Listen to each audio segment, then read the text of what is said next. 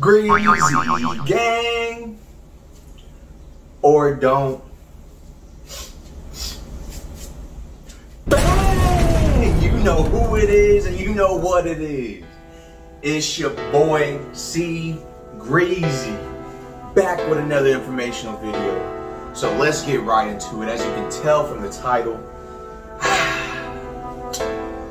this is gonna be a good one. All right, it's gonna be a good one, and it's because I have people that I personally know, and not only that, I read the comments, y'all. I do, because sometimes I jump in them, but I read the comments because I want to see what other people are actually thinking about certain topics.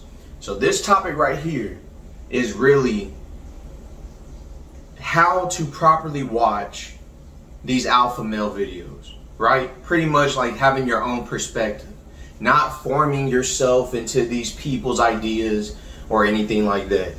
Because that's not what you want to do. You don't want to watch one alpha male dude, another alpha male guy, or another alpha male guy, take bits and pieces from them and then just, oh, this is who I am. No, that's not, no. This is what you need to do when watching these alpha male videos. Take into consideration that a lot of what they're saying, I'm gonna say most, most of what they're saying in their videos is accurate. But when it comes to pretty much in a way of disrespecting a woman, you know what I'm saying, um, not having civil dialogue, pretty much just over talking her and not letting her say anything because that's not a logic debate. You know what I'm saying? a logical debate with anybody, man to man, man to woman, it don't matter. Especially if it's a partnership, you're supposed to have a civil dialogue between whatever you guys are talking about. It's supposed to be a fair exchange of words, so therefore each side can get their point of view across. Instead of one side just bashing in what they believe wholeheartedly, this and that, and not trying to hear the other side, because at that point it's just a dictatorship. Now, if that is what you want in your relationship where everything goes by what you say, then that's a whole different story. I can't really speak on that.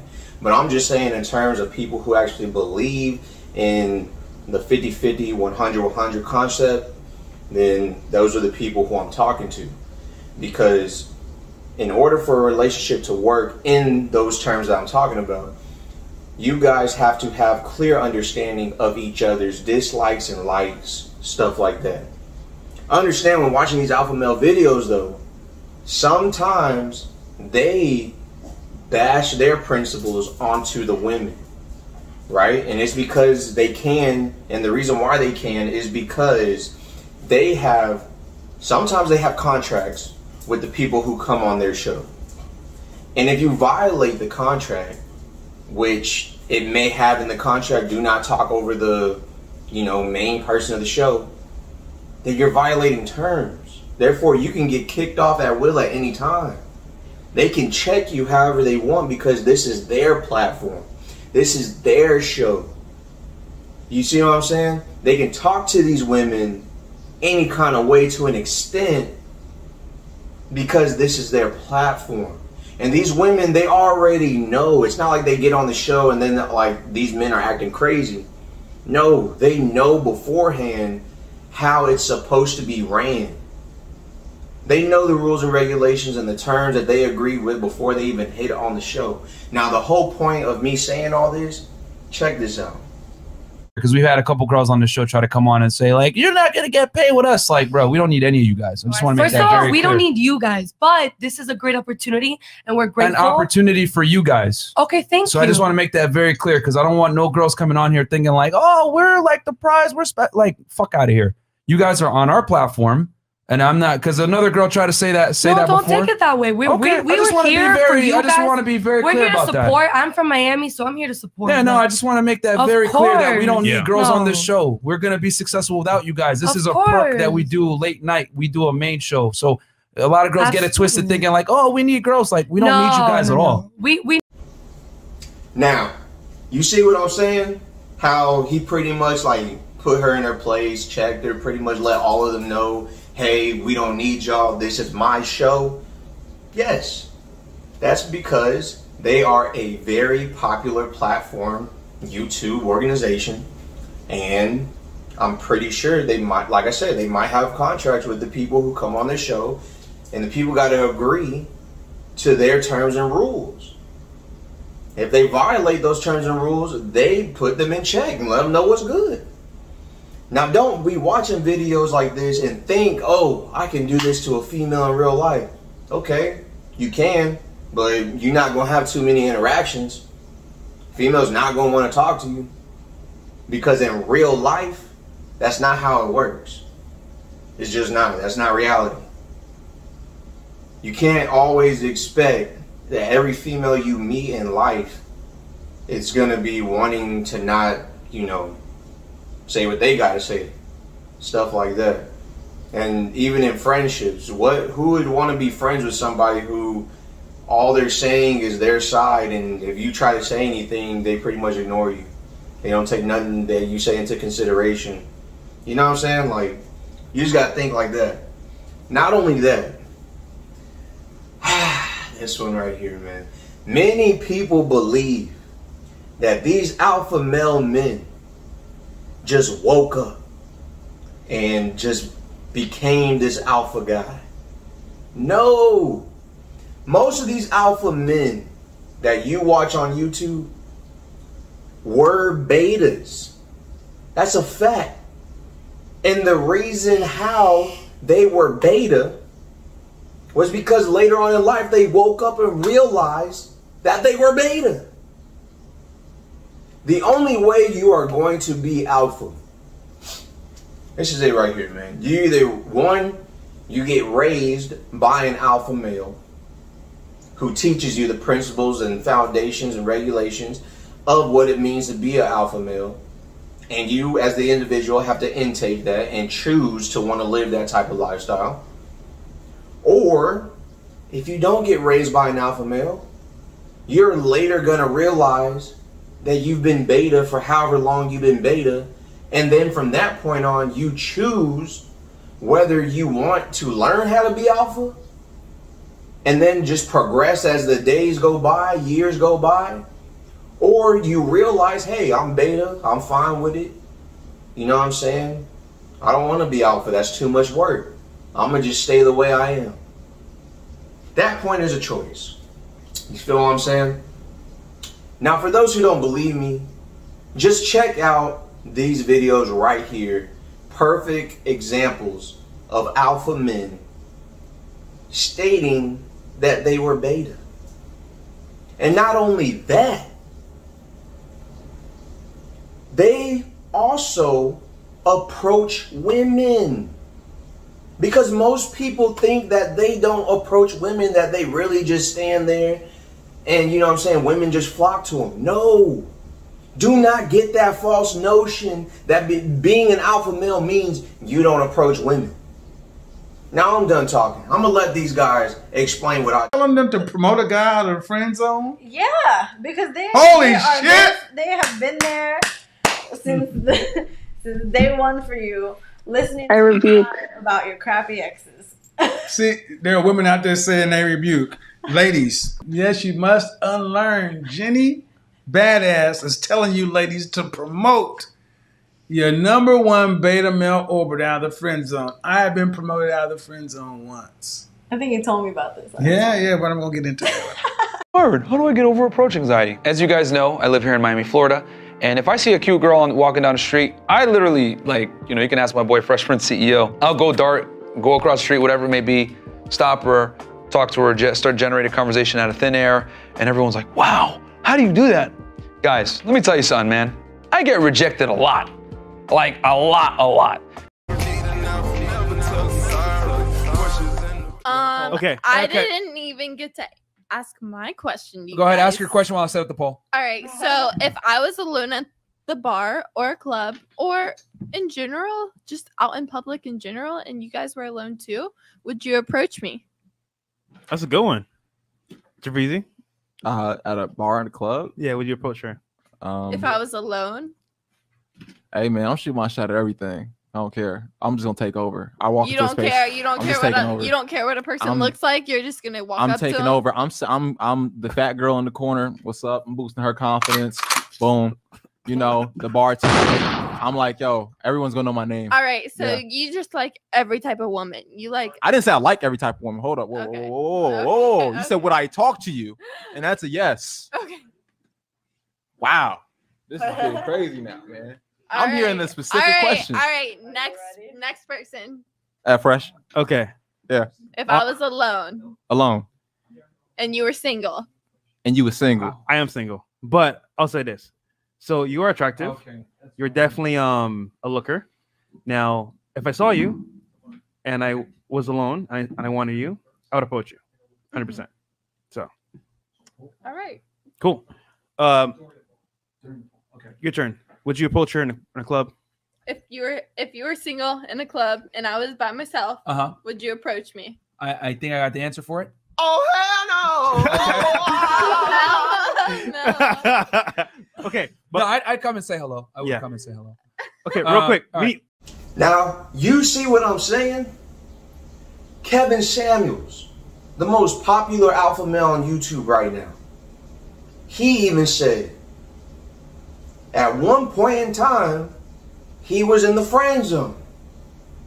And he had came out of the friend zone once.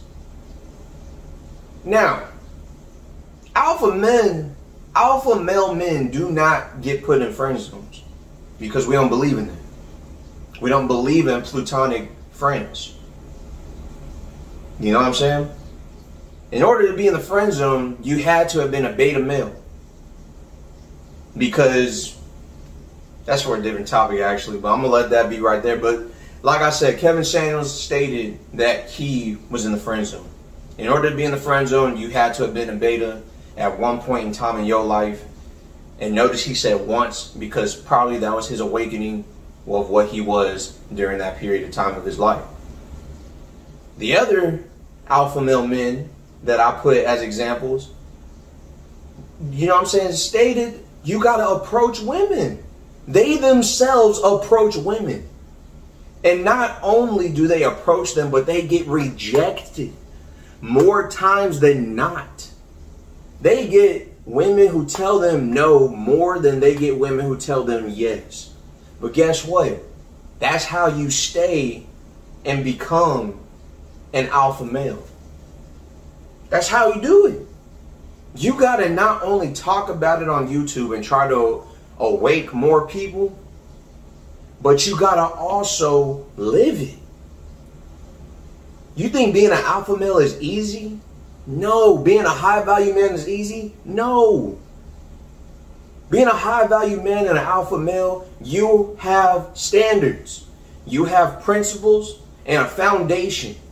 And you stand by them. And if women that you meet do not fit the criteria of your principles and foundation that you stand on, you got to keep moving. They're not it.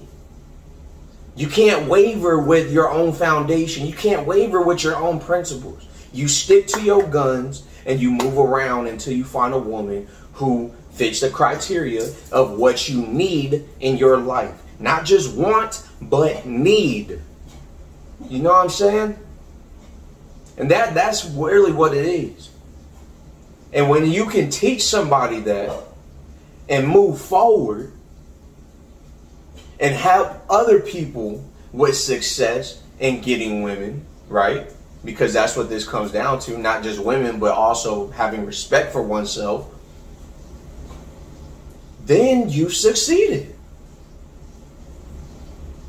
Don't keep watching these videos and see these women talk about, oh, you know what I'm saying? This man needs to make 20K a month in order for me to talk to him. That is not realistic. Those are not the women, one, that you want to be in your life because financial is the number one thing in their life, not who you are as a person. Two, you know how much money that is? 20K a month? You may never see that in your life. People with degrees who get into their field and even managers in their field don't even see 20K a month. That's like top five, top 10% of a man financially that that person is looking for. And that's fine. They can want to look for that person. But just know that may not be realistically going to happen for that person. They can want a millionaire all they want, but that doesn't mean they're going to get it.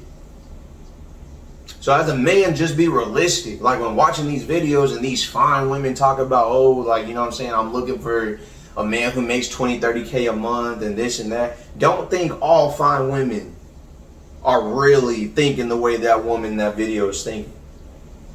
Now, any video that you watch. It's just a video and it is what it is. Now I'm gonna end it on this term right here, man, because I believe my boy Aba hit it right on the spot of everything that I pretty much summed up in this video. And don't forget to like, comment, and subscribe. I love you guys.